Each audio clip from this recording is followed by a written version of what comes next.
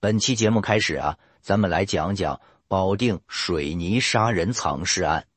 一说水泥杀人藏尸，大伙自然而然的会想到日本的灵濑水泥杀人案啊。呃，这个案件咱们后面会提到，并且呢，我这儿还有一个想法，就是我们讲完这个案件之后，后面呢，我们专门来做一个日本案件的相关主题。在这儿呢，也是征求一下意见，大伙啊，感觉感兴趣的可以留个言。如果大家呃都同意，咱们呢就专门抽出来这么二三十期的节目啊，专门说说日本的案件。行了，言归正传，这保定水泥杀人藏尸案的主角叫黄昌兵，是一九七三年十一月六号生人的。要说起来呀，他的家庭环境啊。身世啊，还真不错，是出生在一个保定的老干部家庭，父亲呢是军官，母亲呢是军校的教员。在七十年代初的时候，别说是军官教员了，哪怕谁家就出来一个服兵役的，出来一个当兵的，哎呦，都感觉可光荣了。所以黄昌兵啊，从小呢是养尊处优，大家呢也都羡慕他。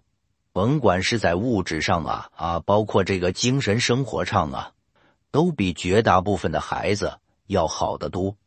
只是啊，父母呢工作都很忙，尤其父亲呢常年在部队，这样的话就有一个问题，就是父母没有太多的时间来管教孩子。从少年时代开始啊，黄长兵呢就表现出来了一个坏小孩的潜质，比如说。他在小学的时候，就曾经多次去军队家属的那种大浴室啊，去偷看女人洗澡。现在大伙洗澡都是自己在家里边有淋浴啊，有浴缸，想怎么泡怎么泡，想怎么洗怎么洗。过去啊，条件有限，很多人洗澡呢就得去那种公共的大浴室，常在河边走，没有不湿鞋的。你总是去偷看人别人洗澡，总会被发现的。为这事儿啊，他都不知道让他父亲打了多少回了。上了中学之后啊，变本加厉。我相信啊，绝大多数的男孩子都是在中学的时候，哎，就情窦初开了，是吧？就知道有喜欢的女生了，喜欢的女同学了。这黄昌兵也一样，上中学之后。他们班有一个女孩，挺漂亮，他呢特别的喜欢人家，就想着呀，让人家当他的女朋友，就追求表白，当我女朋友吧。人不同意呀，啊，黄昌兵什么人呢？再者说了，现在才刚上中学呀，这就搞男女关系那不行。黄昌兵一看你不是不同意吗？有一天呢，趁着晚自习。在学校厕所外边就拦住这个女孩了，你必须得跟我交往，你必须得当我女朋友，你必须得跟我搞对象。那女孩一看神经病吧，断然就拒绝了。黄昌兵啊，当时就感觉脸上挂不住了，下不来台了，恼羞成怒，伸出手来对着这个女孩的头上、脸上啪啪就打了过去了。女孩子哪打得过人高马大的黄昌兵啊？哇哇的就在那儿哭起来了。照理说，喜欢的女孩在自己面前哭，那这个男生应该是整个心都融化了呀！啊，赶紧上去哄吧。可黄长兵不是，黄长兵啊，把他摁倒在地上，用力的抓这个女生的胸部和下体。这哪是学生啊？这是地地道道的流氓色胚子呀！这时候呢，正好赶上一个老师来上厕所。黄长兵一看有人来了，这才被吓跑了。女孩回去之后，就把这事告诉家长了。家长一听，这个气呀，怎么让我闺女在学校受人这么欺负？得找学校告状去。学校知道情况之后，是校长亲自出面，约黄昌兵的父亲过来当面聊聊。黄昌兵的父亲一听，哎呀，我这个逆子啊，这个畜生啊，怎么能干这事儿呢？气个半死，回家之后把黄昌兵是这一顿打呀，打完之后这还是自己儿子呀。要真说因为这事儿受了什么处分，被学校开除了，我儿子的前程怎么办的？他又去求学校，因为黄长兵父亲的这个身份啊，学校呢也得给个面子，就没有对黄长兵进行处分。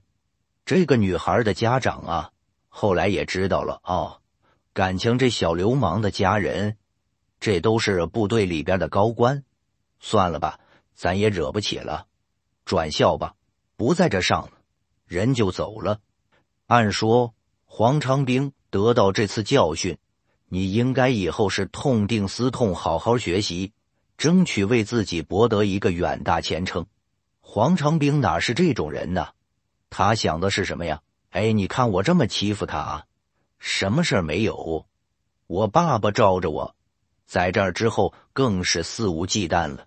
上了高中以后啊，黄长兵更是成为了班上的刺头，谁都不服。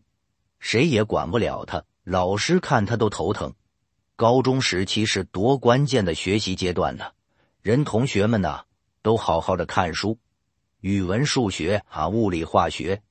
这黄长兵呢也好好看书，可看的书是不一样的。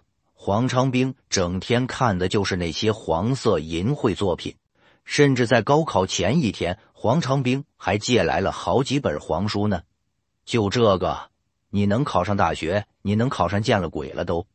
高考失败之后，父母呢也是利用关系把黄长兵啊就送到部队，就入伍参军了。他就成了工程兵某部的一个普通士兵。黄昌兵这人虽然从小就坏啊，虽然是从小的地道的小流氓，但是啊他不笨，挺机灵。在军队期间呢，他的土木作业水平。非常的高，你真交给他点什么活，他都能给你漂漂亮亮的完成了，还学会玩枪了。当兵你得练习射击呀。他的父母也满心指望着，在部队摔打几年，能够改变他的这个本性啊，能够出来之后做一个堂堂正正的男子汉。可是这几年军旅生涯，对他是丝毫没有改变。退伍之后啊，是越来越坏。开始公然的混迹各个歌舞厅，在歌舞厅里边，黄长兵就是奔着各种女人去的。看见这个漂亮，就上那儿搭讪几句；看见那个漂亮，就来这儿撩撒几下。他还和其中的不少女人都发生了关系。他的父母也知道黄昌兵不学好，但是小时候就管不了。这都这么大了，都成年了，更管不了了。算了，随他去吧。之前呢，黄昌兵虽然是为非作歹，但也不算是大奸大恶之辈。可是，在一九九七年三月，黄昌兵犯下了大事了。有一回，在一个歌舞厅里边，看见了一个漂亮的女孩，咱们呢就跟这个女孩叫小花吧。这小花呢，穿的很性感啊，很暴露，一看呢。这就是情场高手啊，经常混迹于这些呃酒吧、歌舞厅的人。黄长兵一看，恨不得哈喇子都掉地上去了，就去邀请小花跳舞。但是小花呢拒绝了啊，不好意思，我跟我男朋友一起来的。黄昌兵一听，怎么着，跟男朋友一起来的？四处这么一看，没见着有什么男人。什么男朋友啊？你骗我的吧？我男朋友上厕所去了，马上就来。你别烦人啊！你快走开。黄昌兵从小是傲慢惯了，从上学时候开始到当兵，谁敢惹我呀？谁敢这么跟我说话呀？你说什么呢？你让谁走开啊？你看看你自己打扮，不就是个鸡吗？装什么淑女啊？我今天呢，还就要你赔。你是跳也得跳，你不跳也得跳。说完。黄长兵就去拉小花，小花呢赶紧反抗。哎呦，这俩人呢就闹到一块去了。突然之间呢，黄昌兵就感觉被人用力的推了一下，一回头，呵，一个高高壮壮的小伙子站在他背后。你他妈干什么的呀？你搞事啊！你快把我女朋友放开，要不然我弄死你！黄昌兵一听，行啊，你高高壮壮的。我也不是瘦瘦弱弱的呀，黄昌兵啊，身高也有一米八，他也不好惹呀，还当过兵啊，你弄谁呀？这句话还没说完呢，黄昌兵一拳头啪就抡了过去。俩男人呢，哎呦，砰砰五六这一顿打呀，这舞厅里边唱歌的、跳舞的也都停了，还跳什么呀？就看俩人在这打架吧。虽然黄昌兵挺厉害，手脚挺麻利，但是还是打不过那小伙子，连着吃了几个拳头，脑袋还被砸了一酒瓶子。黄昌兵这个气呀啊！怎么着，赤手空拳不打不过你吗？老子身上有刀，噌楞一下，把身上弹簧刀就拔出来了啊！一刀就捅了过去。这一刀啊，正好就捅在了这小伙子的肚子上。哎呦，这小伙子是一声惨叫，捂着肚子，哐腾就倒了下去，那血呀，哗啦就流出来了。这小花一看男朋友受伤了，也吓得不行了。哎呦，了不得了，杀人了，杀人了！黄长兵这时候也慌了神了。原来呀，是啊，也欺负人啊，也耍流氓，可没捅过人呢。头一回干这事儿啊，慌不择路的就跑出来了。这回也不敢回家了，当天晚上就躲在了一个朋友家。再来说歌舞厅这边，这小伙子伤的那么严重，周围人呢就赶紧打了幺二零，经过抢救，总算性命是保住了。到了医院之后，这可是严重的伤人事件呢。医院方面呢，人就报了警了。到第二天，警察就追到了黄昌兵的家里。这时候啊，黄昌兵的父亲已经退伍了，成为了保定市的。一位高级干部听说儿子把人打成重伤，这个老头子啊，这一辈子都是刚正不阿呀！啊，怎么就养了这么个逆子呢？给他气的呀！在父亲的命令之下，三天之后，黄昌兵向警方自首了。经过父母的再三活动，再加上黄昌兵呢也有自首情节，再加上那小伙子没有性命之忧。黄昌兵因故意伤害被判处三年有期徒刑。入狱之后啊，黄昌兵积极改造，也是获得了减刑。最终呢，在里边待了两年。一九九九年三月份的时候就被释放出狱了。出狱之后，黄昌兵的父母还是希望他改邪归正，把自己名下北市区新北街一百二十号的一套房子就过户给他了，还每个月给他生活费。是又给房子又搭钱的，这老两口啊，现在的心态也都变了。过去孩子上学的时候，刚当兵的时候，还指望儿子有一天能出人头地，现在没那念想了，只希望别出去闹事别为非作歹，就烧高香了。可是啊，黄昌兵很快又混到歌舞厅去了。这时候认识了一个小姐，叫赵丽娟。赵丽轩一看黄昌兵，人高马大啊，长得挺帅气，家庭环境又挺好。哎呦，很快也喜欢上黄昌兵了。俩人呢就开始了同居。可是啊，这黄昌兵没把赵丽娟当回事，在和赵丽娟同居的时候，只要说赵丽娟不在家，隔三差五的就带女人回去过夜。二零零零年的时候，黄昌兵呢在歌舞厅里边。又认识了一个年轻的女孩，叫红红。这俩人呢，经常一块跳舞。这红红啊，不是坐台小姐，只是普通的社会女青年。但是呢，喜欢玩，很开放。通常情况之下，这类女孩子呀，脾气都比较火爆，性格呢都比较倔强。别的女孩啊，都是顺着黄昌兵来。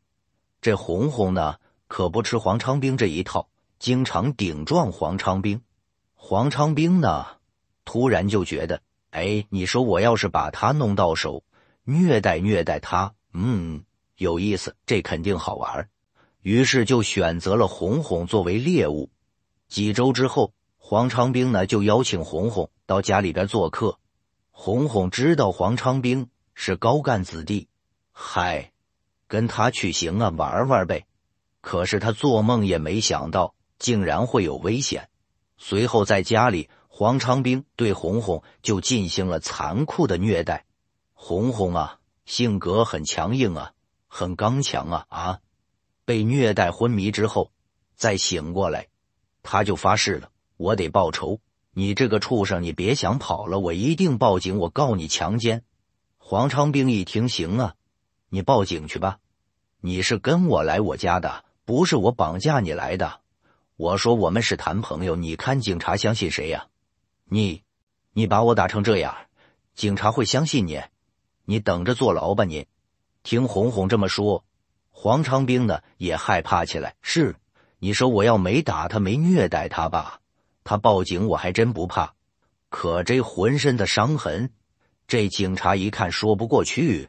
再者说了，哪怕不算我强奸他，最后给我安个故意伤害罪，我这也受不了啊！黄昌兵又一琢磨，强奸罪，量刑是五年以上。加上故意伤害罪，最起码得蹲上个七八年。不管怎么说，我在监狱里边待过呀，那里边的滋味我知道啊，我可不回去了。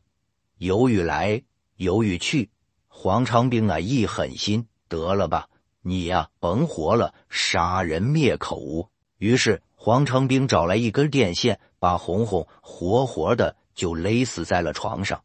红红说什么也没想到。自己啊，那一句气话招来杀身之祸。人在死之前都会拼命的挣扎。一般情况之下啊，说我要杀人了，看见这被害者在那挣扎，心里会留下阴影，会害怕，会紧张。但黄昌兵不是，黄昌兵感觉有意思，啊这个很好玩，看着这么痛快，从此是欲罢不能了，喜欢上这种感觉了。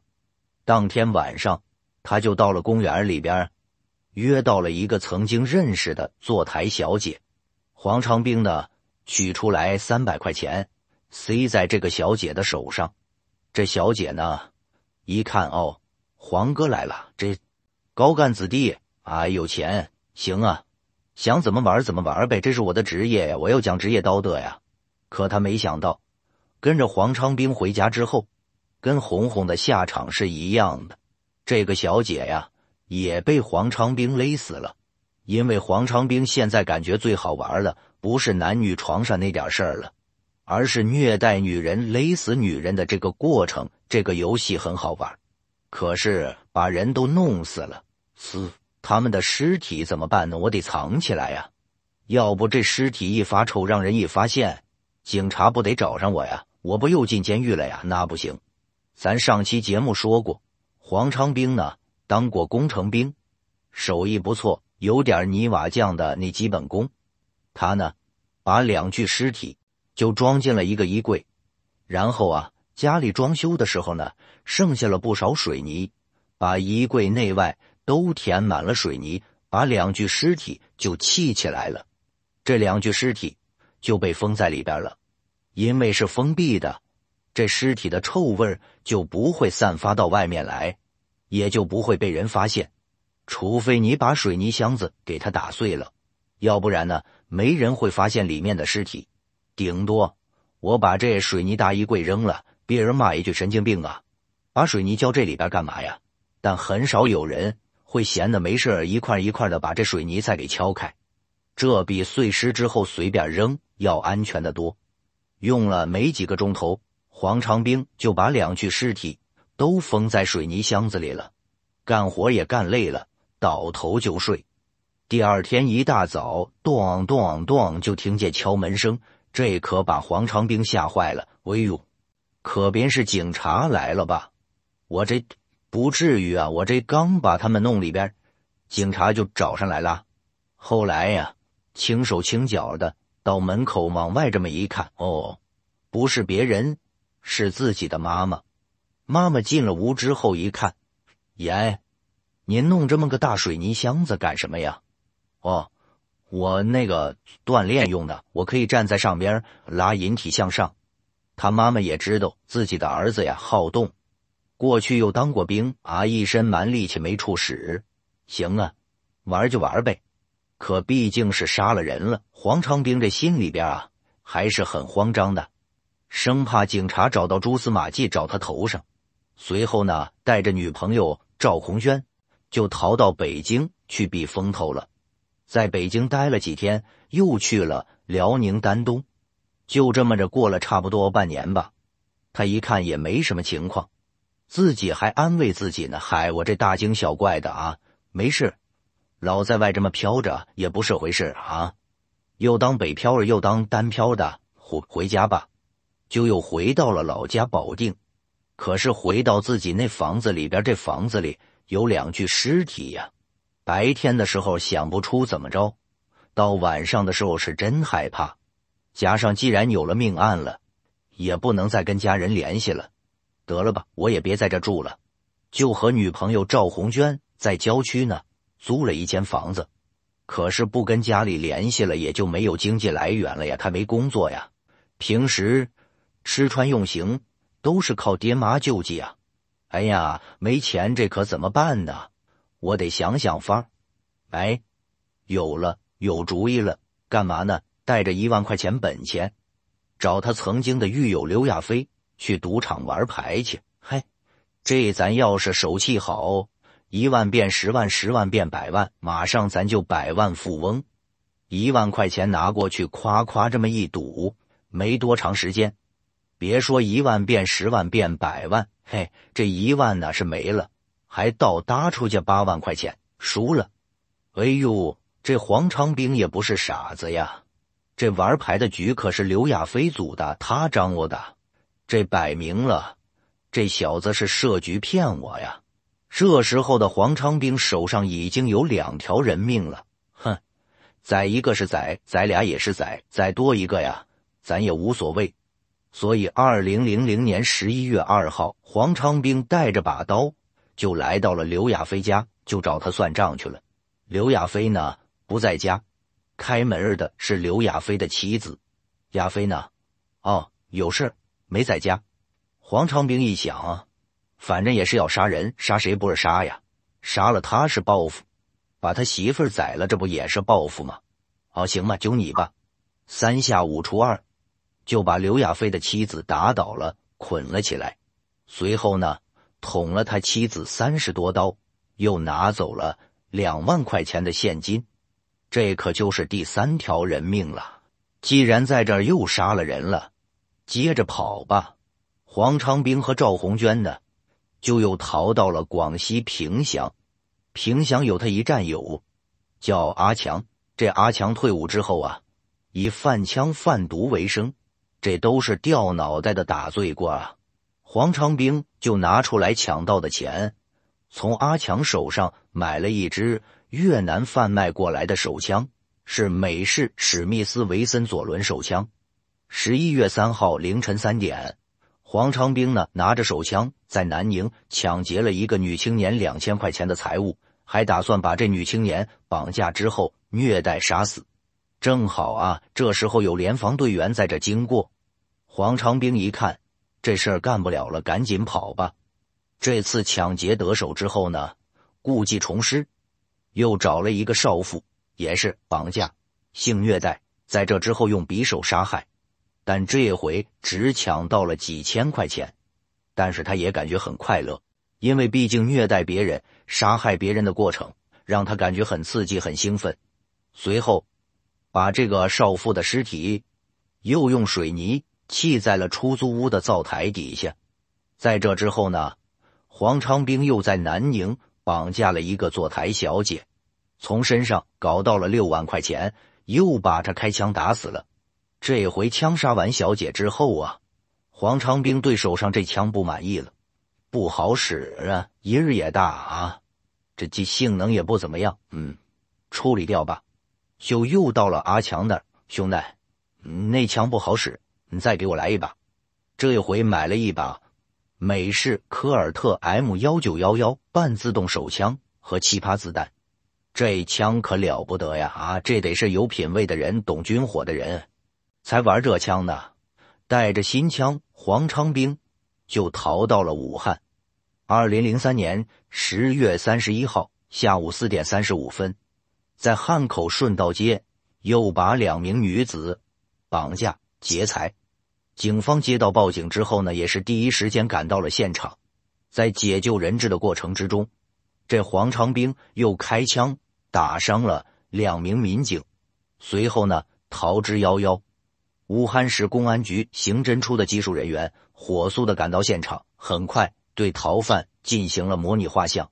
犯罪嫌疑人身高一米八左右，操着北方口音。从现场提取的弹头认定，这凶犯呢所持有的是美国造科尔特 M 幺九幺幺型手枪。从这个凶犯遗留的一件西服里边，发现了四张河北、河南、山东地区的身份证，以及印有河南信阳地区的电话号码的一个打火机，所以认定他应该是在河北、河南、山东等地活动。以他的凶残程度来判断的话，很可能有前科啊，不至于说一开始作案就玩这么大。第二天上午，专案组就确定。将侦查重点放在河北、河南、山东这三个省份，并且派出了五个小组，分别到这三个省份进行调查。通过调查得知啊，这个嫌疑人十月二十九号晚上六点左右走出汉口火车站，并且穿的比较厚，是北方口音。所以呢，专案组就沿着京广线开始查，到了信阳，到了郑州。十一月二号晚上六点左右，刑侦处侦查员通过上网比对，发现河北保定网上通缉的杀人逃犯黄长兵与幺零三幺案犯极为相似。专案组刑警经保定市公安机关核查，发现黄长兵在二零零零年十一月二号在保定杀死一人。同时发现，广西南宁市公安局去年也曾到保定追捕杀人疑犯黄长兵。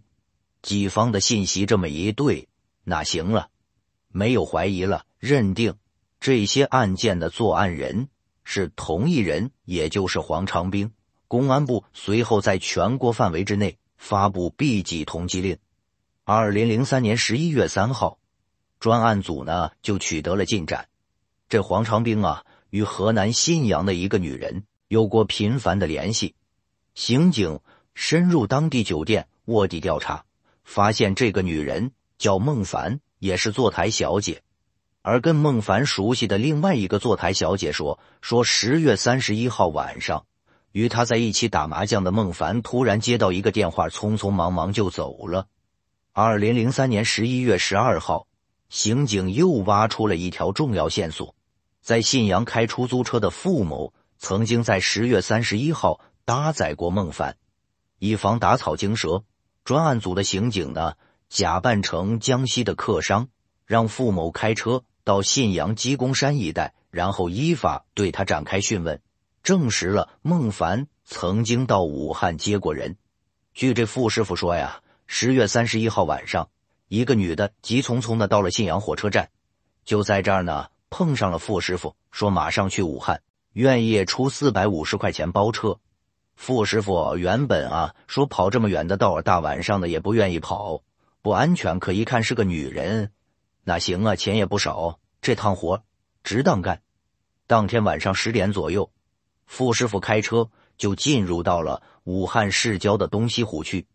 这包车的女的呢，就让他停车，然后开始打电话。没多久。又开车开到了汉阳安泰酒店附近，一个男的就上了车了，随后连夜赶回了信阳。武汉警方确认，这就是孟凡到武汉接应黄昌兵的全过程。二零零三年十一月十六号下午两点左右，赴河南的武汉专案组刑警在河南警方的配合之下，查出来黄昌兵等人呢，很可能溜到了河南南阳。随后，专案组民警兵分四路赶赴南阳，布下了天罗地网。十八号中午十二点左右，黄昌兵果然出现在了专案组刑警早就锁定的八一路上。民警呢，穿着便衣就跟在他后边，一边跟着走，一边呼叫增援。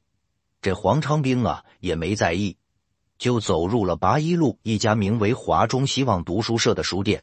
一进去，六个刑警突然就冲进去，把黄昌兵就摁倒在地上了。随后，武汉警方赶到黄昌兵在当地的租住地，是南阳市工业路一百八十九号西南角二单元幺零二室。留在房里的孟凡也落网了。民警呢，从房间里啊搜出了一把已经上膛的军用手枪、一把匕首以及几张假身份证。随后又对孟凡展开了讯问。这孟凡不是别人，正是赵红娟，只是在逃亡的过程之中啊，为了安全改了名字了。二零零四年二月二十四号。黄昌兵一案被当地人民检察院依法提起公诉。黄昌兵自二零零零年起，先后作案六起，持枪、刀等凶器滥杀无辜，导致五人死亡，两人重伤，绑架勒索人民币六千余元，盗窃人民币两万元，强奸妇女一人，持枪抢劫，非法买卖枪支两支，子弹十七发。黄昌兵一共被控涉嫌故意杀人、抢劫、绑架、强奸、盗窃、非法买卖枪支罪等六项罪名。黄昌兵案呢，就为您讲完了。明天节目呢，咱们就开始讲讲和黄昌兵作案手法高度相似的一起日本案件——灵濑水泥杀人案。咱们明天节目再会。今天呢，咱们来说说安徽杀妻惨案。咱们从什么时候说？一九九五年，这一年的九月份，二十岁的穆远松中专毕业，就留在了安徽合肥，被分配到了安徽工业设备安装公司工作去了。由于穆远松呢出身于农村，学历啊也不高，对于这个女孩子来说，能在省城安个家，这就可以心满意足了。工作之后，接下来可就是找对象了，是吧？谈恋爱、结婚、生孩子，哎，这辈子安安稳稳的，这就算驶入正轨了。很快，穆远松啊，跟他的那个所在的车间的班长陶自平就谈起恋爱了。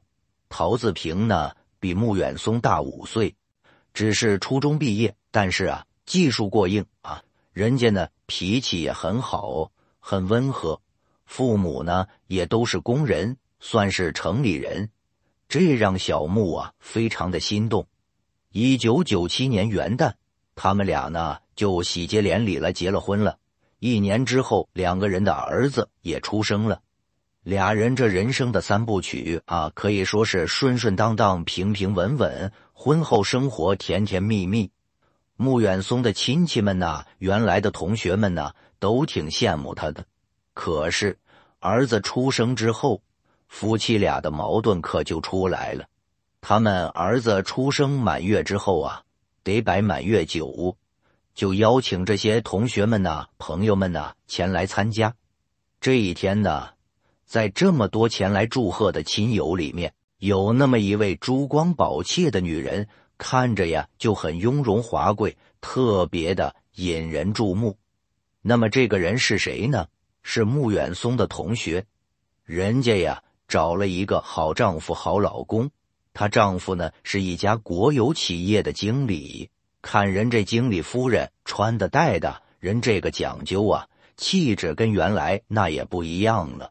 穆远松这心里边呢就有点不是滋味原本以为啊自己在同学里边过得算不错的。找了一个城里人啊，并且呢，自己的丈夫呃，技术啊，呃，这个工作呀，也都还算可以。哪知道还有更好的？这两位呢，当时啊，上学的时候关系还不错，可以说是无话不谈。他这同学呢，就问穆远松：“远松啊，你爱人在厂里做什么呀？”“哈，我认识他两年了，还是当初那个小班长呢。”“嘿呦。”现在这年头，人要进步，一要拍马屁，二要送礼，三呀要做表面文章。我看你爱人挺老实，你呢得时常点拨点拨他，让他买些东西啊，到领导家里边多走动走动。同学呢可能是个好心啊，也是说者无意，但是小木那是听者有心了。当天晚上睡到床上，哎呦，是颠来倒去睡不着。于是呢，就跟丈夫商量起来了。老婆呀，就把这想法跟陶自平说了。自平啊，你也给领导送送礼，总这么当个小班长，这算怎么回事啊？陶子平呢，很正直，感觉挺可笑啊。平白无故的给领导送什么礼吗？你要是男人，你就也当个经理什么的，你混出个人样来。嘿嘿，我现在就不是人样了啊！那些溜须拍马的事，我可不干，我看不上。穆远松于是就拧着丈夫的胳膊，一边在那拧，还一边在那骂他：“你这个没用的男人，嫁给你还不如嫁给木头呢。”一说完，扭过身去搂着孩子，一声不吭就睡觉了，让老婆抢白了这么一顿。这陶自平也有点发懵啊！嘿，这穆远松什么意思啊？啊，他他到底是个什么心思啊？他弄不明白。但是他知道老婆呀是真生气了。第二天呢，穆远松人自己呀就做好准备了，买好了礼品。回来呢，给了陶自平，让陶自平往领导家里边送。陶自平呢，还是觉得老婆这样不对，这种行为很可笑啊。俩人话不投机，一来二去就又吵起来了。穆远松别看比陶自平小五岁，但他可是个有心机的人。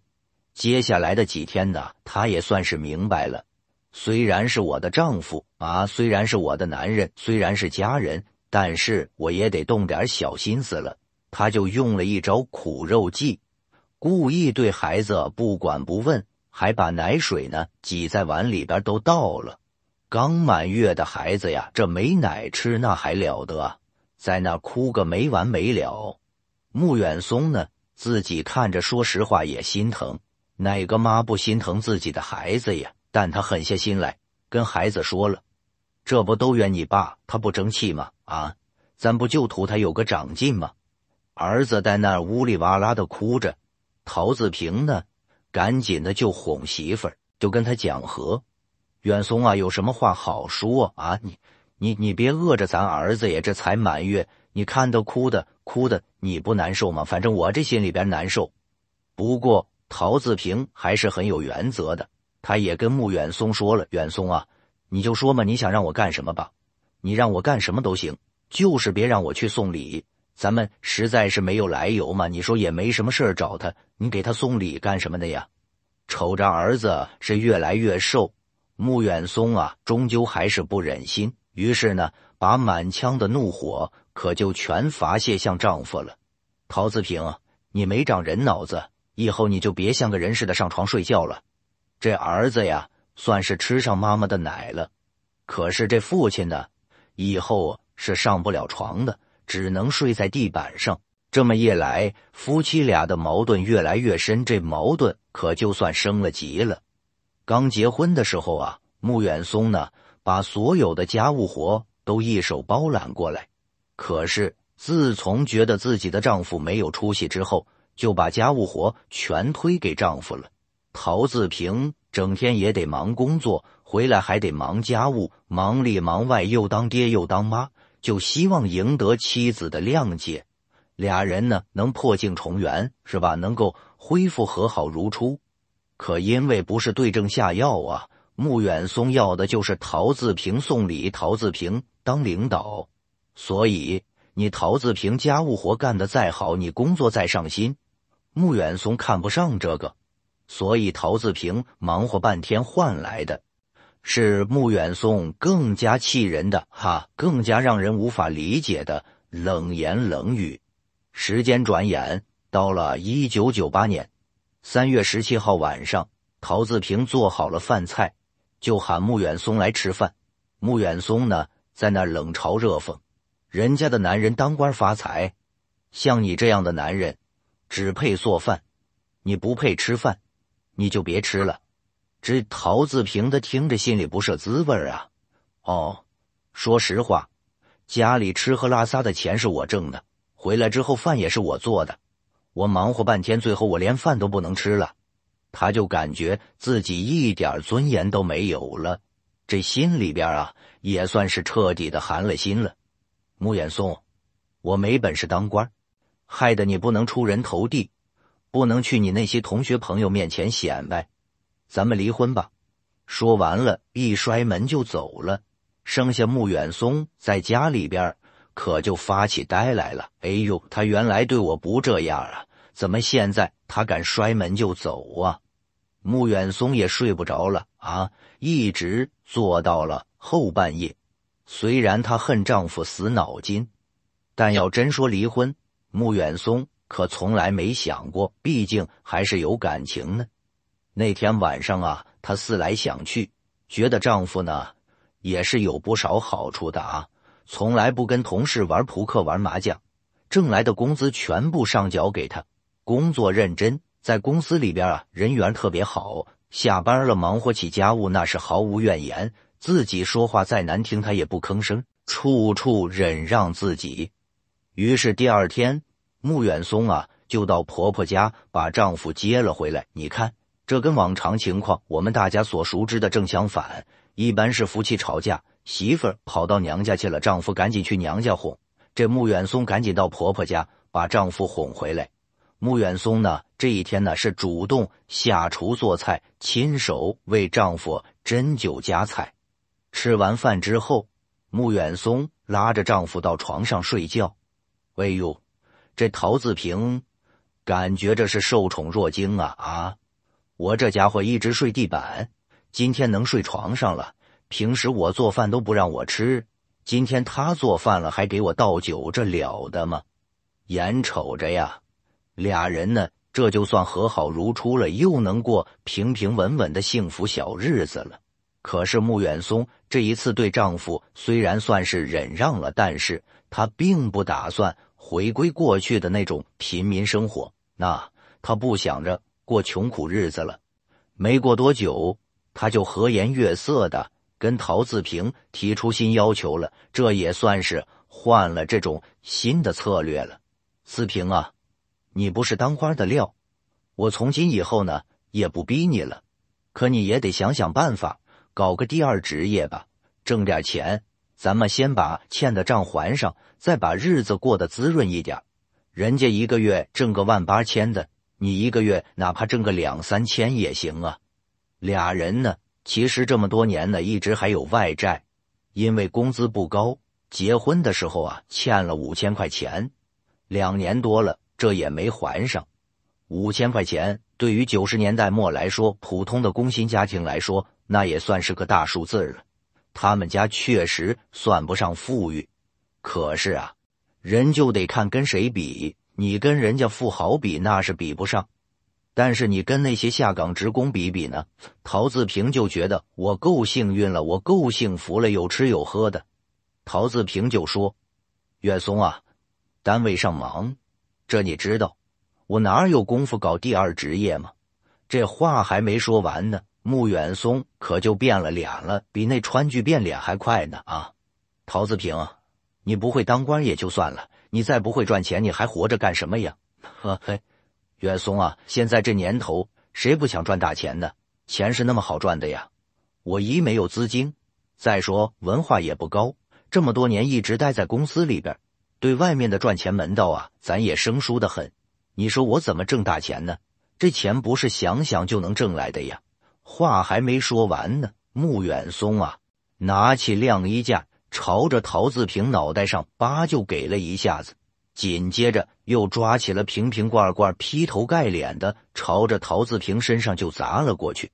陶自平啊，让他媳妇儿打的跟踩过似的啊，身上好几个地方都被划破了。赶紧的吧，我也不能打老婆呀！就逃出家门，地上啊全是被砸坏的各式各样的家伙事。那么这场闹剧该如何收场呢？上期节目咱们说到了，陶自平让他媳妇儿打的呀跟踩过似的啊，慌慌张张逃出家门。等他走了之后，家里地上到处都是他媳妇儿把东西扔完之后剩下的那些碎片。无奈之下，陶自平厚着脸皮。又去找自己的妈妈去了。妈妈年纪也大了呀，为了把家维持下去，也为了把日子过下去，他呢跟自己的老母亲要了五千块钱，把债给还了。照理说，原来他可是拉不下脸来的，他就感觉我上了班了，结了婚了，得我养着我的老妈，我哪能跟我老妈要钱呢？哎呦，这五千块钱要回来，尽管心里不是滋味。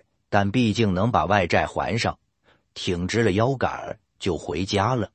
可是啊，他的心呐，确实是疼。为什么说心疼呢？那五千块钱是在广州打工的弟弟给老母亲寄回来的血汗钱呐。陶自平就想不明白，刚毕业的时候，穆远松这个小姑娘啊，羞羞怯怯的；刚结婚的时候呢，也温柔体贴，所以陶自平才那么喜欢穆远松，才那么爱他。怎么就这么一两年的功夫？就变成了一个喜怒无常的泼妇了呢。其实穆远松啊，也想不明白。九十年代末的时候啊，经济开始快速发展，这是大时代的因素。在现代化的城市里面，那是色彩缤纷呐，各式各样的大商场，那大玻璃橱窗展示的各式各样华贵漂亮的衣服。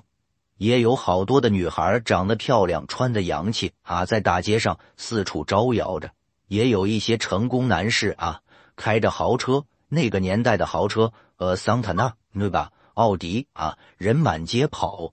为什么自己只能过着清贫的寡淡生活呢？为什么我的男人就不能像别人的丈夫似的那么有出息呢？啊，他怎么就不能争口气呢？难道我就不配穿金戴银？我就不配吃牛排、喝咖啡、就大蒜吗？对穆远松来说，幸福的标准已经有所改变了。刚毕业的时候还是个小姑娘，那时候感觉幸福就是我从农村到了城市了，我扎下根来了，我找着工作了，我又找了一城里人结婚，这就是幸福。但现在来看，不是。人呐，永远不会知足，永远有一种贪心。他不再像当初似的想的那样了，他现在要的是品味，啊，是出去珠光宝气，是大家的羡慕。陶自平显然没有能力带给妻子这些，日子这么一天一天的过着，理想和现实啊差距越来越大。穆远松呢也越来越蛮横。如果说一开始的蛮横是为了逼丈夫争气的话，后来的蛮横啊，都变了。他争不争气也无所谓了。我知道他也太争气不了了。我就为了发泄我心里边的怒火，我心里边的不平衡。一九九九年八月份的时候，陶自平的老母亲呐，头疼的老毛病又犯了。陶自平呢，把母亲接到家里边照顾。对此，穆远松是左不痛快，右不痛快。第三天晚上吃过晚饭。穆远松找借口把儿子打的呀哇哇大哭，陶自平的妈妈呢就劝儿媳妇远松啊别打了啊，你看孩子哭成什么样了呀？穆远松呢把脸可就摆下来了，我打我的儿子，我用不着别人管，你要看不惯你就别住这。陶自平的妈妈活了一辈子了，什么事儿不知道，什么事看不出来呀？他知道儿媳妇的用意。声音呢，颤颤巍巍的，就跟陶自平说：“孩子，我不让你为难了，我这就去你妹妹家。”望着自己的老母亲，一路蹒跚的走了，两眼泪汪汪啊！陶自平看着这些，他受不了，在沙发上那也是失声痛哭。穆远松呢，一点惭愧没有，反而一脸不屑的就跟他说：“陶自平。”看你那熊样，哪像个男人？这事儿也就算这么过去了。一九九九年十月份，一个周日的下午，陶自平的妹妹到了哥哥家，摁门铃也没人答应。透过窗户往里这么一看，陶自平的妹妹陶小琴可就惊呆了。哥哥陶自平在床前跪着，嫂子坐在床上。那是满面的愤怒，陶小琴在那一边拍窗户一边喊：“哥哥！”陶子平呢一动不敢动。陶小琴赶紧就向嫂子央求：“嫂子，你看在我的面子上，你饶了我哥吧。”穆远松呢也跟没听见似的，把头往边上一扭，也不说话。陶小琴看自己哥哥这样，看不下去了。哇啦一声，可就哭出来了，捂着脸就跑开了。其实陶小琴哪知道啊，他所看到的一幕，对哥哥来说这是家常便饭。陶自平啊，心里的压力越来越大，儿子越长越高，母亲呢越来越老，这正是上有老下有小，用咱们今天话来说，这叫中年危机的时候。陶自平啊，已经不敢轻易的离婚了，可是为了维持这个家，他又不得不忍受妻子。二零零零年七月份，公司派陶自平到郊区的一个工地施工。穆远松听说之后啊，就跟丈夫说：“你怎么又接别人不愿意干的活啊？你只会出力流汗，当官发财怎么轮不到你？不准去！”陶自平就赶紧争辩：“我是班长，我不去，怎么好意思让别人去呢？”穆远松一听，顺手拿起水果刀，在陶子平的脸上划了一道：“你不是逞能吗？我给你做个记号，我让你再逞能。”血呲啦一下子。可就流出来了。陶子平用卫生纸捂住脸跑了出去。到了工地，同事们都吃惊的问他怎么搞的。他说呀，骑自行车摔的。同事们不信，再三追问，他才说是媳妇儿用刀划的。同事们愤愤不平啊，就跟陶子平说：“走，我们找他算账去。”没见过这么狠心的女人。陶子平摆了摆手，哎，算了算了，也没多深。他不想让同事们搅和到自己的家事里面，可是穆远松并没有把冲突说控制在家门以里。二零零零年八月份的一天，陶子平在合肥市七里塘种子公司施工，穆远松突然出现在工地上，满脸的愤怒。陶子平赶紧问远松怎么了，穆远松冲上去就扇了他两个耳光。同事们一看，赶紧把他拉开了。后来陶自平才知道，原来是孩子发烧了。穆远松啊，怨恨他没有在家照顾着，就为这事儿，穆远松竟然当着那么多的人扇了他耳光，让他脸面扫地。陶自平这心里边都在滴血呀。二零零一年八月九号，陶自平忙到了晚上九点多，这才回家。一进门啊，他就特别高兴，就告诉妻子穆远松：“远松啊。”我们今天发了二百块钱奖金，陶自平是挺开心，可是妻子呢，怒气冲冲。陶自平洗完澡出来，妻子满脸愤怒啊，站在客厅里边。穆远松拿着从陶子平衣服里翻出的三百块钱，就问他：“这是怎么回事啊？”陶子平赶紧解释：“哦，有一百块钱是小刘的，你有本事啊，你的兜里还装着人家的钱呢。小刘今天请假。”我负责发钱，那他的钱当然就在我兜里了。随后呢，他就向着穆远松张了张手：“小刘那份给我，明天还得发给人家呢。”穆远松无话可说了，可是也不肯善罢甘休，想要一百块钱可以，不过你得跪下来求我。陶自平就瞪着他，僵持了一会儿，还是叹了口气，跪下了。几分钟之后，他站起来，伸手要钱。我还没让你站起来呢，不算。陶自平只好又跪下去。穆远松说：“你跪够了一个小时，我就把钱还给你。”听了这话，陶自平再想想妻子平时那些无理取闹的事情，这陶自平啊，脾气也上来了，索性躺在地板上蒙着头睡觉。穆远松一看，行啊。你这是用沉默对抗我呀，更加生气了。到了夜里十二点，穆远松想想那钱终究是人家的，只好又塞进了丈夫的口袋。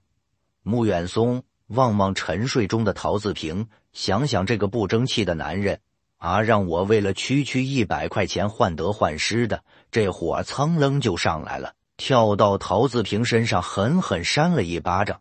陶自平这一挨打，噌楞一下就醒了，下意识的用力一推，穆远松就摔在地板上了。这还了得！啊，平时都是我揍你，我让你跪着，你竟然敢推我！摸起一把电熨斗，朝着陶自平就砸了过去。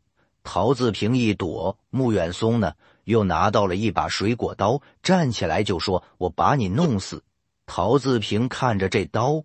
再看看妻子，突然就感觉呀，所有的情绪都已经不受大脑控制了，压抑这么多年的怒火终于爆发了。他夺过刀来，把妻子摁在床上一通乱刺。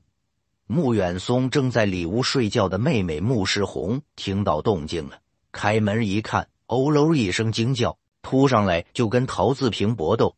陶自平转身朝向小姨子，又拿着刀一阵乱捅，一边捅一边喊着：“我做男人了，我他妈终于做男人了！”八月十号凌晨两点。穆远松、穆世红姐妹不治身亡，陶自平被警方抓获。消息传到陶自平单位的时候啊，所有的同事们都很震惊。陶自平是全公司的生产标兵啊，上班十几年都没跟人红过脸，怎么连杀两人呢？陶自平的一个同事说：“陶自平老实本分，不是当官不是经商的料。”而穆远松呢，喜欢攀比，爱慕虚荣，一直希望丈夫做高官赚大钱，几乎发展到了变态的地步，这才酿成恶果。二零零一年十二月二十五号，合肥市中级人民法院一审判处陶自平死刑。二零零二年四月十三号，陶自平被押赴刑场执行枪决。说完这个案子呀，我们再来说说穆远松呢。是有着一种望夫成龙的心态啊，强迫着陶自平去跑官，强迫他下海经商。但是陶自平呢，哎，他算是一个比较怡然自得、随遇而安的个性。什么工作呀，咱踏踏实实做好了，至于结果那无所谓。后来穆远松呢，又用暴力手段逼迫别人，包括侮辱陶子平，这是错上加错。正因为这两个人的人生观不同啊，他们对于幸福的理解不一样，这才给这起凶杀案埋下了伏。